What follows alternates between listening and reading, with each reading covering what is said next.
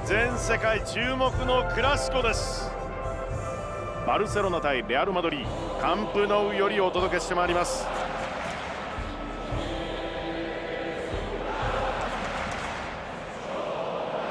選手が入場してきました。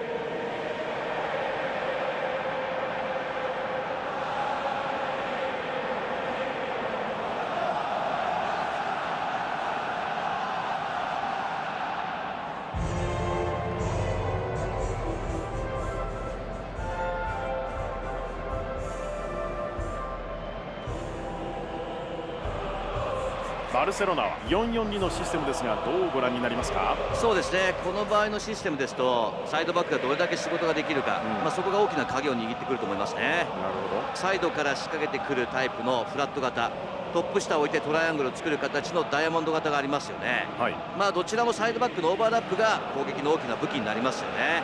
なるほど。サイドバックの上がりが重要ですね。そうですね。またその上がるタイミングというのがすごく重要になってくるんですよね。なるほど。まあ常にこう守備を意識しつつ、うん、中盤が前を向いた時にタッチライン際を一気に駆け上がる、はい、サイドアタッカーにならないといけないですよね、うん、そのタイミングが体に染み込んでいるサイドバックこそ相手にとって怖い存在になってきますよね。なるほどさあ一体何億人が今か今かと待つのでしょうか。このエル・クラシコの笛。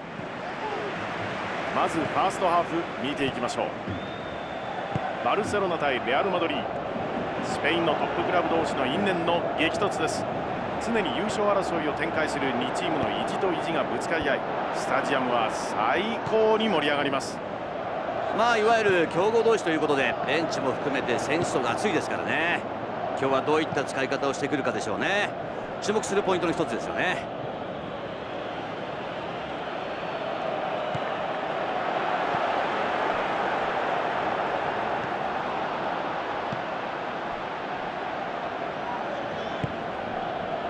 モドリッチ。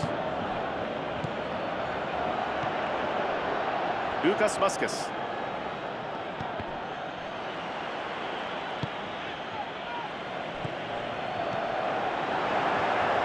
ルギオ・ブスケツメッシからルイス・スアレス。ふわっとしたボール。ボールはコンチーニョへ。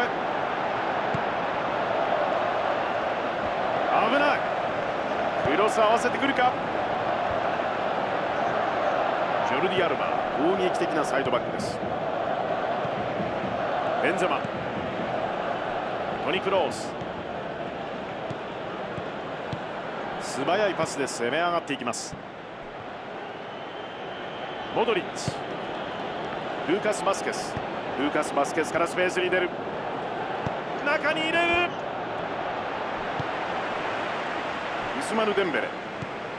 レアルとしては先ほどからサイドの活性化が目立ちますけどもね、サイドバックがかなり高い位置まで上がってるんですよね、はい、相手が引き気味になっている時ほどこういった形を取ることが一般的と言われてますけどもねうん全体的にサイドバックが押し上げるというイメージですね。そうですね。まあサイドの厚みは増しますけども一つ懸念としては味方サイドバックの裏に上がった分のスペースができてしまうのでそこのケアは必要になりますよね。はい。まさにカウンター要注意ってことですね。そうですね。マルセロ。こ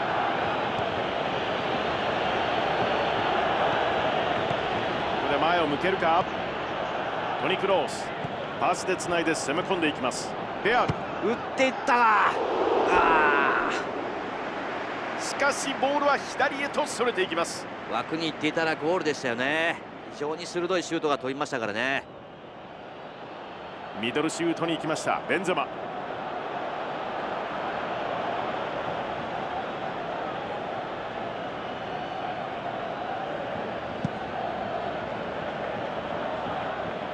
少しルーズになる。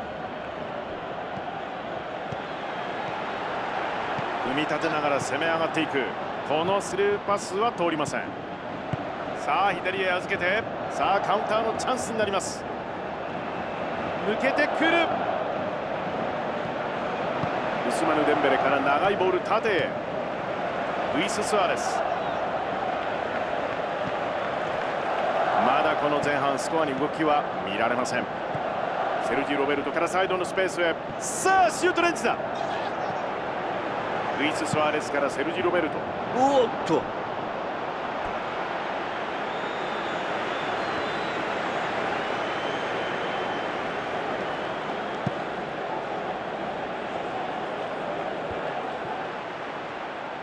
パウリーニョ。メッシからのフィードボール。この位置で受けるロングフィードで狙う。足元大事にいきます。クロスを選択。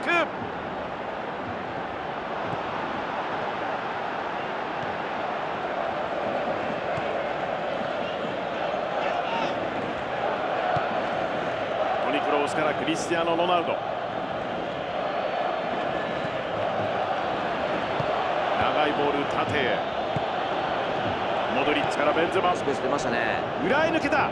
ここで受ける。クロスを選択。絶好の位置で受ける。ここはすぐ。シュート。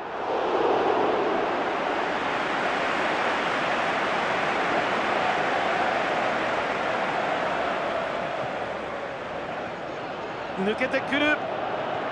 さあ中はいる縦へのボール。あそこまでゴール前に人が集まってしまうとシュートコースがなくなってしまいますよね。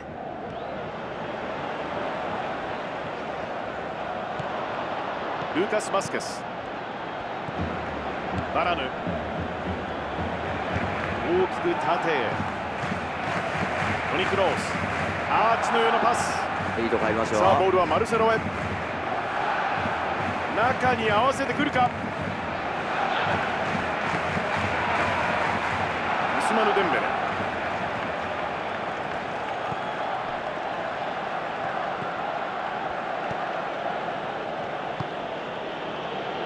セルジ・ロベルト。ボールはメッシへ。ウスマヌ・デンベレ。素早いパスで攻め上がっていきます。仕掛けるか？メッシからコウチーニョ。とこぼれてる？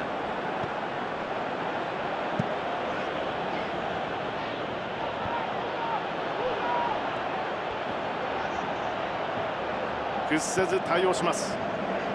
ミドルなんと止めた。いやーファインセーブでしたね。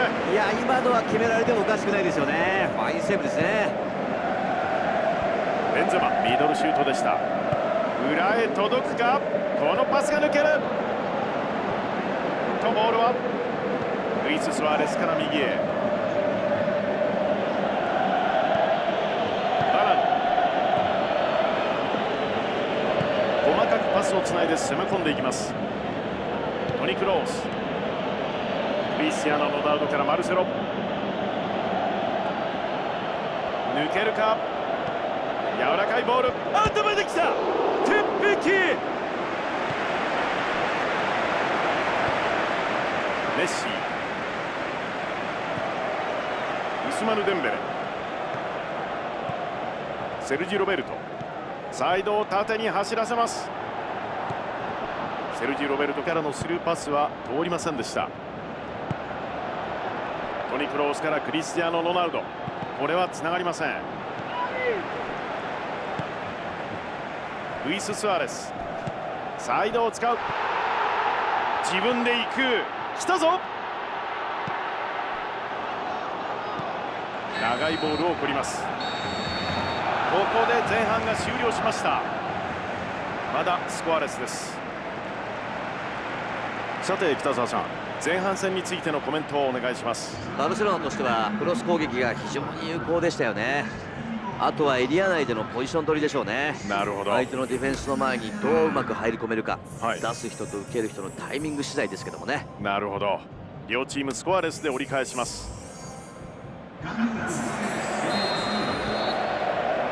レアルのキックオフでスタート。前半では得点シーンが見られませんでしたパスでつないで攻め込んでいきます。狙いましたね。ベンゼマレア。ル選手交代のようです。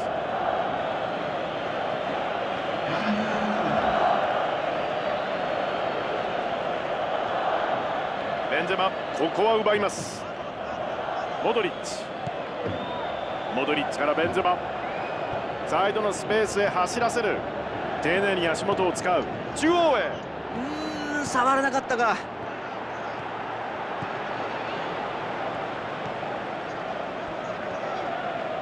イニエスタから大きく縦へ。ウスマヌ・デンベレ。メッシへ。右サイドへ振って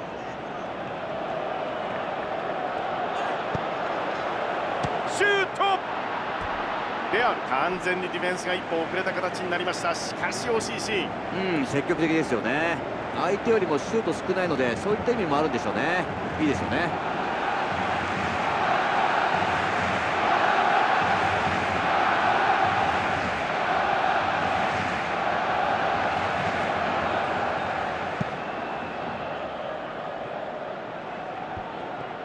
イスコ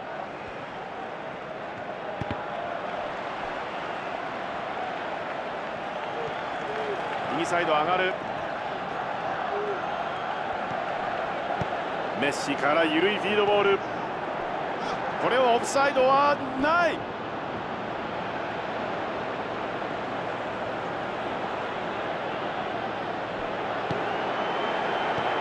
素晴らしいパス。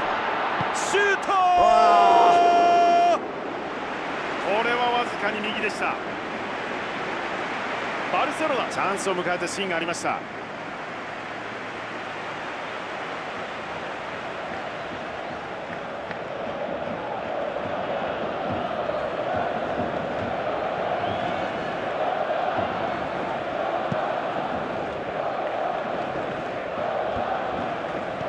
ルセロナが最終ラインまでボールを下げるレアル先ほどから守備のブロックが中央で固まっているという印象ですがいかがですか北澤さん。そうですね攻撃をクロスに絞らせてるんでしょうね。センターバックの選手がサイドに突き出された時は、ええ、残りの中盤の選手がカバーに入る。頭いやバルセロナ先制。ようやく均衡を破りますバルセロナ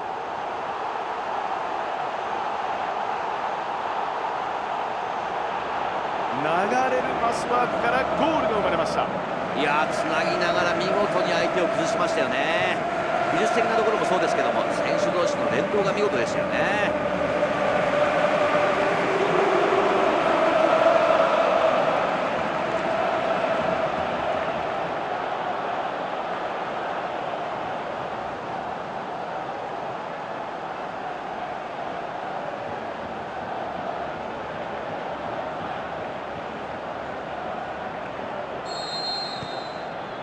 バルセロナこの重要な試合でまず一歩リードしています。イスコ素早いパスで攻め上がっていきます。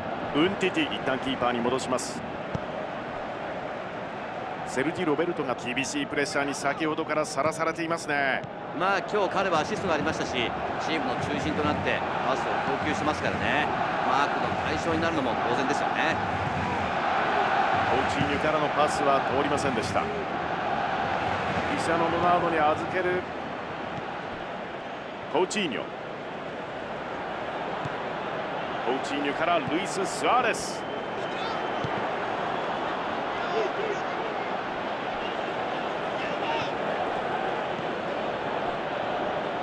イスコからターテへのボール。ベンゼマ。ベンゼマからサイドのスペースへ。さあ切り替えてオーバーラップ。うんこれはつながりませんでした。今の形すごく良かったですよね。これを繰り返せばいいと思いますね。とにかく前へ前へですよね。サイドのスペースを使います。この柔らかいパヘディング!追加点!バルセロナ。追加点バルセロナ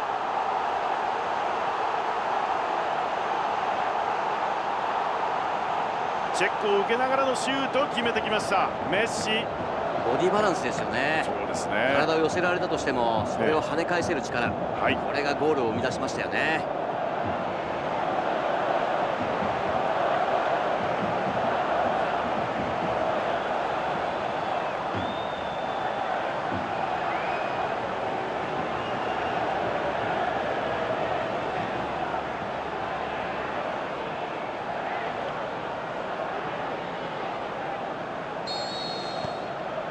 さあバルセロナ得点を重ね2対0という展開。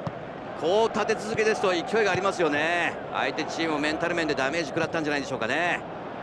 サイドを縦に走らせます。パウリーニョから長いボール縦へさあ左サイドへ。抜けてくる。緩いボール。うんこのパスはキーパーへ。トニ・クロースクリスティアーノ・ロナウド。ベンズマからのフィードボール。ベンズマからマルセロ。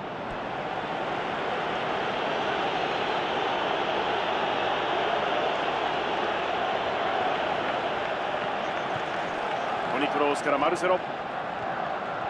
中人数シュート。シーナーが。素晴らしい反応でした。いやファインセーブですよね。よく止めましたねこれ。レアルが決定的なチャンスを迎えたシーンでした。チャレンジはしません。後ろに流す。細かくパスをつないで攻め込んでいきます。これはなかなかこじ開けられない。大きく縦へ。オウチーニュからルイス・スアレス。イスコ。イスコからクリスティアーノ・ロナウド。カウンターを仕掛けます。縦へのボール。ルイス・スアレスセルジ・ロベルトこの試合でアシスト2つ記録しています。ウスマヌ・デンベレからスペースに出る。イスコから左へ。さあ一気にカウンター。クリスティアーノ・ロナウドからこのフィードパス。クリスティアーノ・ロナウドからベンゼマ。クロス。ウスマヌ・デンベレ長いボール縦へ。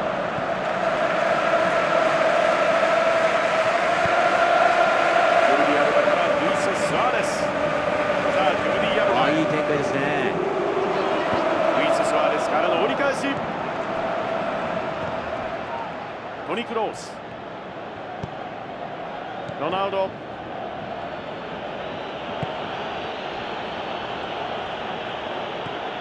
マルセロベンゼマ。ロングフィードで狙う。ここで受けて。両チーム同じタイミングで動いてきます。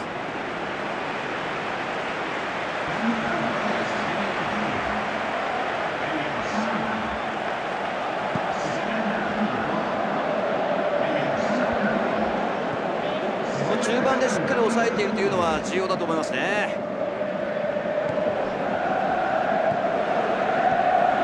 セルジ・ロベルト。ジェラール・ピケ。組み立てながら攻め上がっていく。アレックス・ビダルからメッシ。ふわっとしたボール。シュートレンチです。メッシ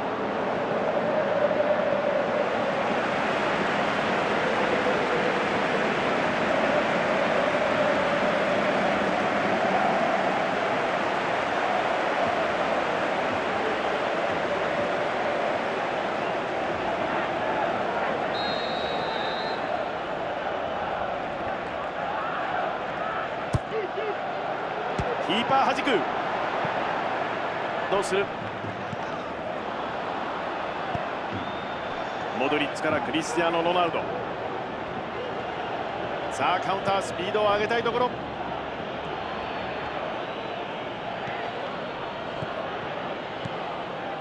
細かくパスをつないで攻め込んでいきます。カゼミロから右サイド。起きましたよ。意地を見せるかカゼミロからナチョ・フェルナンデス。さあどこに出してくる？ゴールのがこのパス。あダメだいやファインセーブです。いやあの位置。試合終了。2対0バルセロナ勝ちました。歴史に新たな1ページが刻まれます。さあいかがでしたか？バルセロナとしてはやっぱりこの対戦には相当気持ちが入っていたと思いますからね嬉しい勝利だと思いますよ。うーんそうですね。ありがとうございます、えーそろそろ放送時間もなくなってきました。解説は北澤剛さんにお願いいたしました。北澤さん本日ありがとうございました。ありがとうございました。バルセロナがクラシコをものにしました